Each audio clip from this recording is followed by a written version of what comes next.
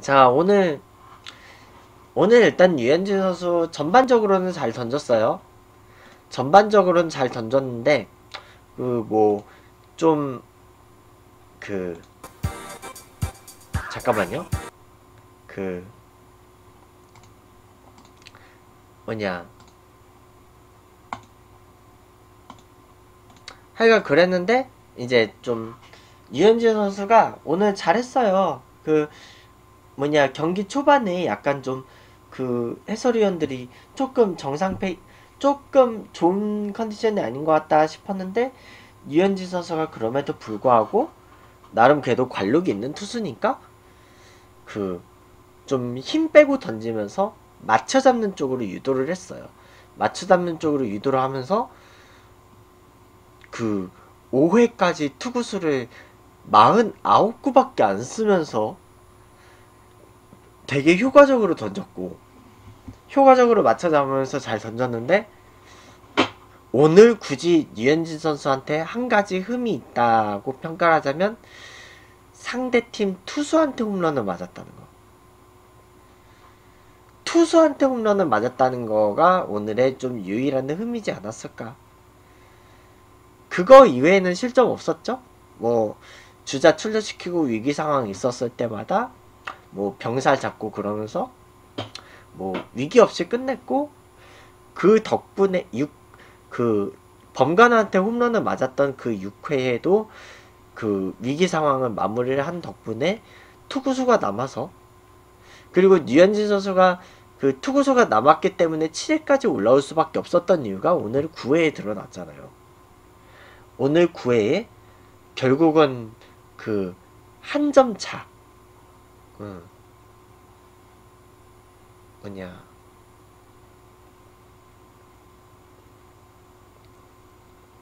그 한 점차 승부까지 가버리는 좀 그런 상황이 발생을 했어요. 뭐 그래서 그 일단은 다저스 불펜이 지금 시즌 초반에 그렇게 좋은 상황이 아니어가지고 그래서 류현, 류현진 선수가 7회까지 수고를 해줬고 음 그래서 7회까지 수고를 해줬고 오늘 퀄리티 스타트 플러스 범가너에게 맞은 홈런을 제외하고는 완벽했고 음 그래서 번가너한테 홈런 맞은 이후로 좀 한순간 흔들렸던 거를 제외하면 그 그, 그 6회 상황을 제외하면 완벽했어요. 근데 이제 반대로 범간어는 그 범간어는 이제 류현진 선수한테 3회에 류현진 선수한테 그것도 스트레이트 볼넷을 내줬잖아요. 스트레이트 볼넷 물론 그 네 번째 그 볼 카운트가 원래 그 정도면 사실 스트라이크 잡아줘도 되는 건데 심판이 스트라이크 안 잡아줬어요. 그리고 이제 범가너가 거기서 빡치고 결국은 이제 계속 연속 출루를 허용하고 류현진 그 코디 벨린저에게 그랜드 슬램을 맞아버리고 그 한순간 무너져 버렸죠. 참 그 분위기는 모르는 거예요. 이 스포츠 경기에서의 그 분위기는 뭐 알 수 없는 거니까.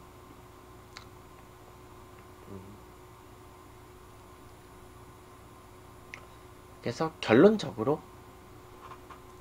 뭐 결론적으로 이제 위기 상황을 좀 범간어에게 한 방 맞자마자 바로 불을 끈 유현진 선수 그리고 범간어는 유현진 선수한테 스트레이트 볼넷을 내준 다음에 그거를 불을 불씨를 너무 키워버린 게 때가 늦었다.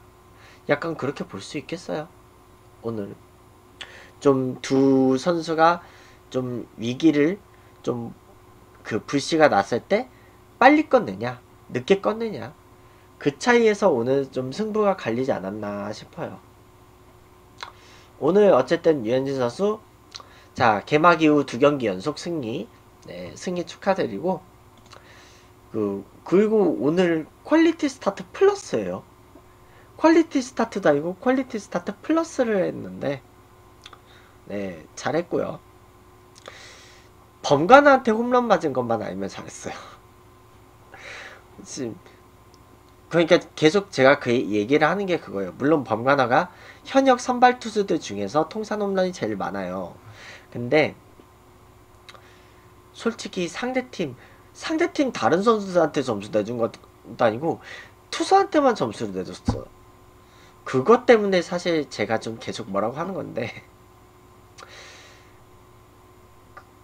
해설진들도 얘기했잖아요. 방심했다가 점수 그 범가드한테 맞은 홈런은 방심했다 맞은 거다.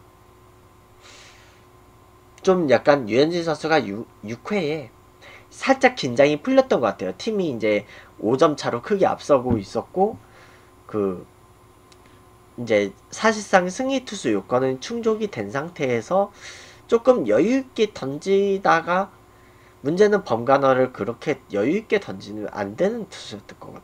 안 되는 투수였잖아요. 현역 선발 투수 중에 최다 홈런을 기록하고 있는 투수를 상대로 결국 유현진 선수는 범가나한테 한 방 맞으면서 어떠, 어쩌면 그 덕분에 또 6회하고 7회 때 잠깐 정신을 또 그래도 바짝 차려서 오늘 경기를 이기지 않았나 그렇게 생각을 해요. 뭐 오늘 뭐 더 다른 코멘트 할 건 딱히 없을 것 같고 이현진 선수에 대해서 다른 다른 코멘트 할 거는 딱히 없을 정도로 그래도 오늘 잘 던졌고 진짜 다저스 오늘 불펜 어쩔 거야. 솔직히 오늘 이거는요. 이게 그 켄리 젠슨이 그 못했다기보다는요. 젠슨이 실점을 할 수밖에 없는 상황에서 어? 생각해 보세요. 어? 뭐냐? 응? 딜런 플로로? 응? 아 저거 어제 기록이네요. 워커빌러. 그 내가 왜 어제 어제 기록을 봤죠? 미안해요. 그 잠깐만요. 오늘 경기 기록 좀 다시 볼게요. 그 일단은 젠스는 자책점이 아니에요. 젠스는 자책점이 아니고 오늘 그 이미 가르시아가 2실점을 했는데 그 젠슨 앞에 주자를 두 명 남겨놓은 가르시아가 좀 실수를 한 거지. 잘못을 한 오늘 오늘은 가르시아가 잘못을 한 거고요. 결국 이제 세이브 상황을 만들어 버렸고 그런 상황을 만들어 놓은 가르시아의 잘못이었기 때문에 솔직히 아무리 그 젠슨이라고 해도 득점권을 포함해서 주자가 두 명이나 나가 있는 상황에서 등판을 한다는 건 굉장히 부담스러운 상황이에요. 그것도 무사해서. 보니까 몸도 몸도 그 공 공 몇 개 던져보고 불펜에서 나왔어요. 몸도 제대로 안 풀고 나왔어. 실점을 안 할 수가 없었 없었어요. 실점을 실점을 안 할 수가 없는 그런 상황에서 그래서 거기에다가 나오자마자 수비 실책이 나왔어요. 근데 이제 실책으로는 기록이 안 되는데 이거에 대해서는 젠슨한테 자책점은 안 준 것 같아요. 음. 왜냐면 그 상황이 일어나지 않았으면 그 젠슨은 실점을 안 할 수도 있었기 때문에 그렇게 했기 때문에 기록원이 젠슨한테 자책점을 주지 않았어요. 그래서 젠슨은 올 시즌 그 무실점 행진을 이어가고 있고 3경기에서 2세이브를 거두고 있어요. 자 그러하고 어쨌든 다저스의 불펜 썩 그렇게 믿음직스럽지는 못한 상황을 계속 벌써 6경기째 그런 모습을 보여주고 있는데 일단은 다저스 현재까지 음, 오늘까지 6경기 4승 2패 내셔널리그 서부지구 1위를 지키고는 있는데 네 아직까지는 좀 약간 불안한 것 같아요.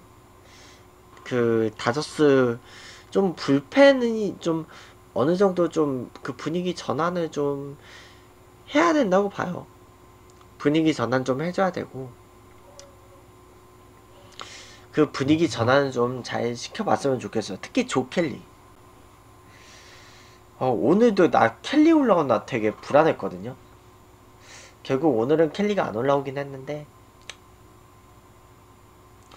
어쨌든 이번 자이언츠하고 시리즈가 끝난 다음에 하루 휴식이 있다고 하니까 그럴 때 좀 한번 정비를 좀 잘 했으면 좋겠네요. 자, 그러면 오늘 다들 유현진 선수도 수고했고 경기 보- 봐주신 분들도 수고 많으셨어요.